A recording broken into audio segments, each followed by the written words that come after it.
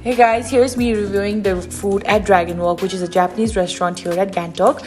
Firstly, we had ordered this pork ribs, and guys, this pork ribs was so yum. It is really saucy and really juicy. So this pork ribs is 10 out of 10. Secondly, we had ordered this dragon eye sushi, and I really love this dragon eye sushi because outside that uh, seaweed was fried with some things. So it is really yum. Secondly we had this pork fried rice and the soup. And the soup was tofu soup okay? So it was basically really nice.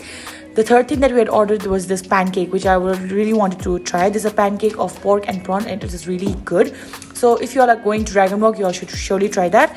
And then we ordered the go-to bento box which is very famous out here at Dragon Wok we'd ordered this pork bento box and this bento box comes with some salads pork tempura and all this katsu and all and it was really good. Second thing that we had ordered was this uh, tantan ramen which is a spicy ramen okay? And this was also in pork flavor which is really good. And yeah that's